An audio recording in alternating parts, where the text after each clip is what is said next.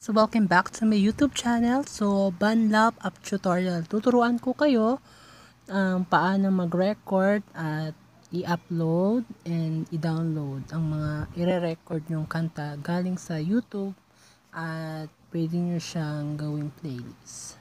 So, let's start. So, kung meron kang data o wifi, punta kayo sa Play Store. Guys, di ba? So, kung merong wifi, much better.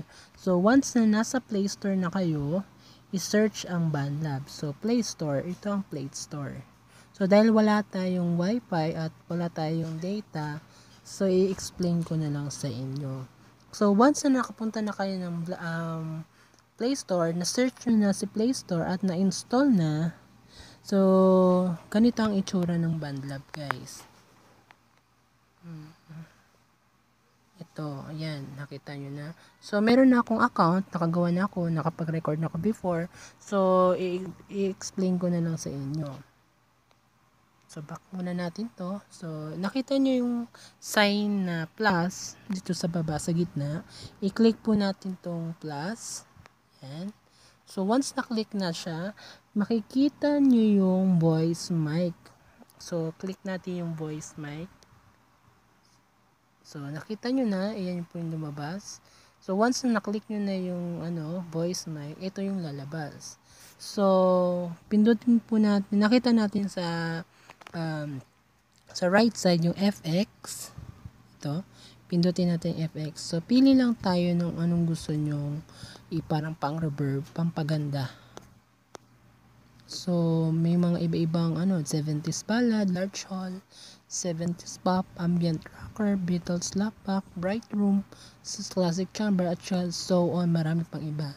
So, napili natin is bright room. Once na nakita na natin yung bright room, click tayo dito sa taas, sa may malapit sa arrow, dito sa uh, right side.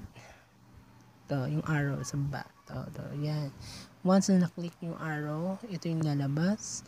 So, nakita na natin yung ano, yung FX na nandyan siya. So, click natin tong plus. So, ayan yung lalabas. So, mag import tayo guys. Import audio kung anong gusto nyo. Yung kumuha kayo ng music sa YouTube na naka-download na siya already.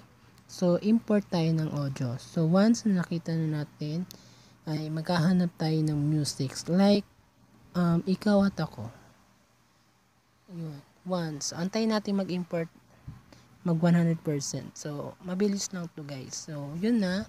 Na 100% na. So, okay na yon So, kung gusto nyo guys, marinig pa yung boses nyo. Yun. Hinaan lang natin. Depende sa inyo kung mag, okay na ba sa inyo yung adjustment. Yung nasa taas sa track 1, hindi nyo na siya babaguhin. Yung sa imported track lang talaga babaguhin nyo. Kasi kung once hindi nyo siya binago, steady lang yung standard lang yung boses nyo.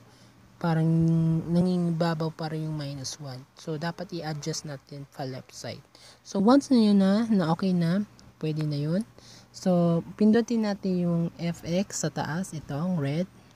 Yun once naging kulay na siya, pwede na, na pwede na tayo mag-record. So, start na natin. Pindutin natin yung red sa gitna.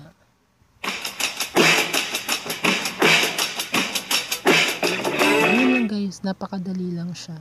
So, pwede na kayo mag-record. Once na record na um, pindutin natin yan. So, okay na. Pwede natin. Punta tayo sa taas. Sa taas na para siyang ulap na arrow. So, yan. Save. Save natin. So, lalagyan natin ng ano, um, sample, sample record. Yan. So, save.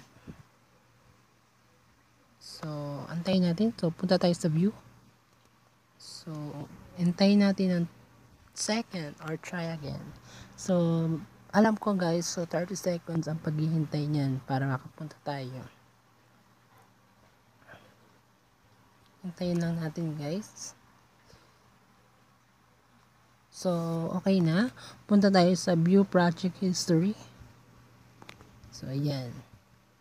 Hintayin muna natin yung konti.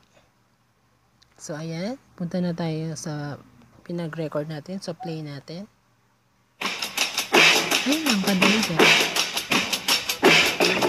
Ayun.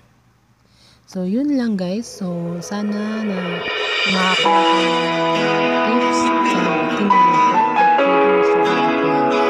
mga wala pong sa mga wala pong B8 sound card pambili, pwede nyo siyang i-download ang Band Lab dahil nakakatulong rito. Parang ano na siya, meron kang B8 sound card. Tsaka kung much better na walang maingay na ano, na maiingay na kuliglig, maingay na mga tao, makakapag-record ka ng mas maganda pa dyan guys. So ayan lang guys, so don't forget to subscribe my YouTube channel. Maraming maraming salamat.